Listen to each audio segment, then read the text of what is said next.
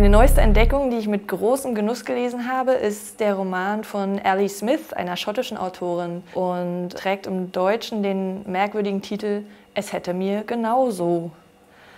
Der wirft natürlich schon mal Fragen auf, dieser Titel. Worum geht es in dem Buch? Äh, es findet in Greenwich, einem Stadtteil von London, ähm, eine Dinnerparty statt.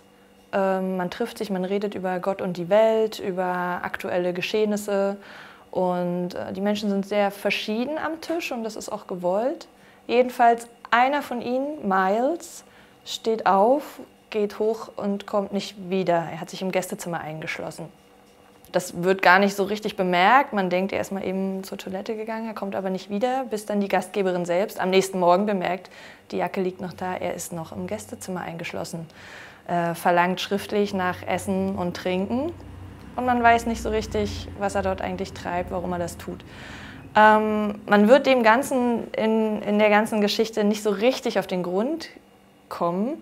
Schön ist aber, dass anhand von vier Menschen, denen Miles in seinem Leben begegnet ist, ähm, wird er uns schon etwas näher gebracht. Ähm, und das Buch ist schon eine Art Gesellschaftssatire. Also es geht sehr viel um so flüchtige Kommunikation, ähm, um Medienhypes und, äh, und diese vier Menschen, denen Miles aber begegnet ist in seinem Leben, das waren mitunter ganz kurze, fast flüchtige Begegnungen, aus denen aber echte Freundschaften entstanden sind. Da haben wir Anna zum ersten, die wird gerufen an die Tür, weil, sein, weil ihre Telefonnummer in, im Handy von Miles ist.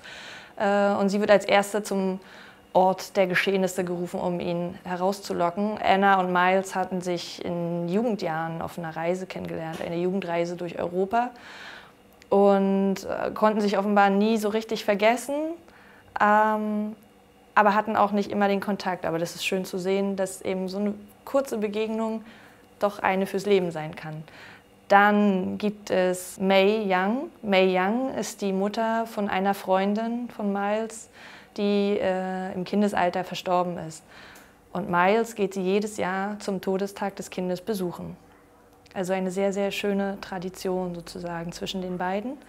Dann gibt es Mark. Mark hat Miles überhaupt erst auf diese Dinnerparty mitgenommen. Die beiden sind sich im Theater begegnet, haben einen Abend verbracht in einer Kneipe und Mark lud Miles daraufhin zu äh, dieser Dinnerparty ein, die von den Gastgebern, die sehr konservativ, reaktionär sind, ähm, laden ganz bewusst immer so ein paar Exoten ein zu ihren Dinnerpartys, ne, um mal den Horizont zu erweitern.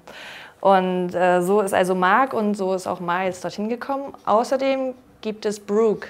Und Brooke ist eine Figur, die mir wirklich sehr, sehr ans Herz gewachsen ist. Es ist ein kleines Mädchen, ein schwarzes Mädchen. Die Eltern sind äh, Akademiker in der Nähe, sie arbeiten an der Uni und dieses Mädchen sprüht vor Witz, vor Intelligenz. Sie ist überhaupt eigentlich die klügste in dem ganzen, in dem ganzen Roman unter den Figuren. Sie stellt immer die richtigen Fragen und hat den Durchblick. Sogar Nick Hornby hat sich schon als Fan von Ellie Smith geoutet und das passt ganz gut zusammen, weil sie auch so diesen Witz hat und ähm, originelle Sprache und absolut äh, im Hier und Jetzt. Ähm, also es ist sehr zeitgemäß. Es ist eigentlich wirklich so ein Gesellschaftsbild der, des heutigen Großbritannien. Das Buch ist auf jeden Fall eine Empfehlung und ich finde, Ali Smith muss spätestens mit diesem Buch auch in Deutschland entdeckt werden.